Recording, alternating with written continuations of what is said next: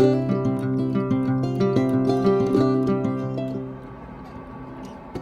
guys, welcome back to the Crooked River and Eastern Railroad. Alright, this is going to be part two of the river scenery build. Um, so without further ado, I'm just going to get right at it and I'll turn the camera. We'll go from there. So stand by. Okay, so all my uh, Sculptamold is dry. Okay, so what I'm going to do here is I have some paint that I got at Home Depot.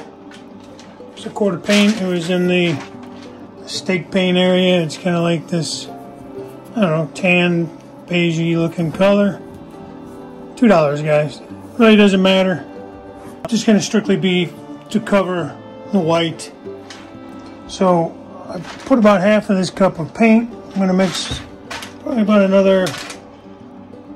I'll water it down. I don't know if I'm going to go with the whole half, but I'm going to just kind of eyeball it so it's a little bit, a bit thinner so it'll spread better. I protected the backdrop there, as you can see. There's probably plenty. Plenty watered down. What I'll do is I'll just start in this area here.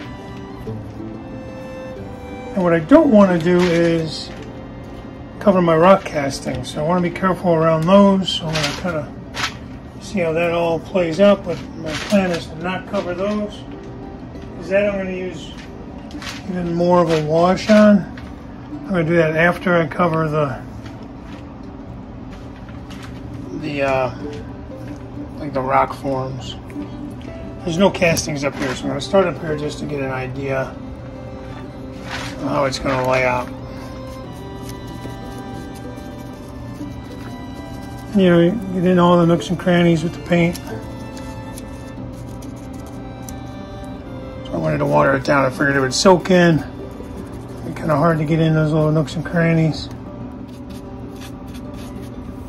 I want to be careful here around the, ed the edges. I don't want it dripping down. I did cover the floor, but, you know, wife would kill me after all that if I mess up the floor down here.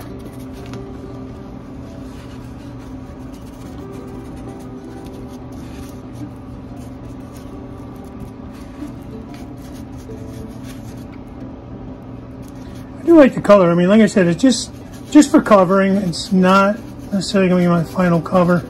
It's actually probably kind of light for my area of the country. Probably would look really good out west if you're modeling out west. It's like more of a sandy taupe color. color. I like how it's kind of running and just I have a paper towel in my other hand just because I want to make sure it doesn't run down the side and especially when I get closer to these rock formations I don't want to any latex paint on there. Okay, I'll be back. Stand by. Okay. Like I said, I didn't want to bore you with all that painting. It took me a while. Um, so like I said, it's a basic brown. It ended up being a little bit darker than I thought it was going to be, but it's okay. So I left all the rock faces so I can uh, actually do a wash on them at some point. Um, as you can see, some are castings, some like along here. I, I wish I would have thought to do this before painted it all, but I kind of left some like little rock jutouts there. I'm gonna get some riprap um, to put on there as well. I think that's gonna be pretty much what that island's gonna be. At least a good portion of it, front portion for sure. And back here, same thing. I'm moving the camera around just to give you a better view. And up top, of some uh, spots for some different color, you know, just rock outcroppings. All right, today we're going to start attempting to paint these rocks. Everything is all in place, um, dry. So you saw my tutorial the other day on how I'm painting them. So now I'm going to attempt to actually paint them on the layout itself. So bear with me and uh, let's get started.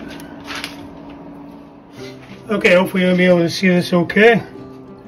Just like we did on the example piece, we're going to wet the rock down. Some water, clean water.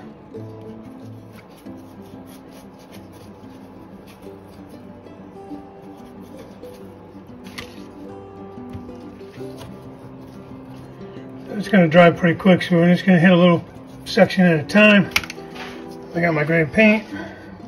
Somewhat watered down, but pretty straight. I think about a 50-50 paint mix to water. And uh, again, you want to protect anything. Scenery-wise, I don't really have any scenery yet. Just if you were doing this and you already had a lot of scenery, you want to protect it. Basically painting this rock. Got water on there. Let that run down. Get in all the nooks and crannies.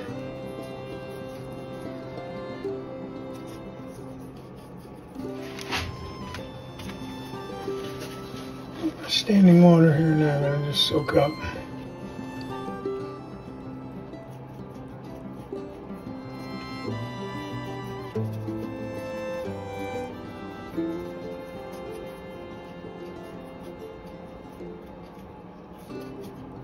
Okay, as you can see, I got the gray on there. And uh, we'll let that dry. So yeah, we'll let that dry. There's plenty more to do. I'll stop the camera and uh, when I get these all colored with the base gray, I'll be back.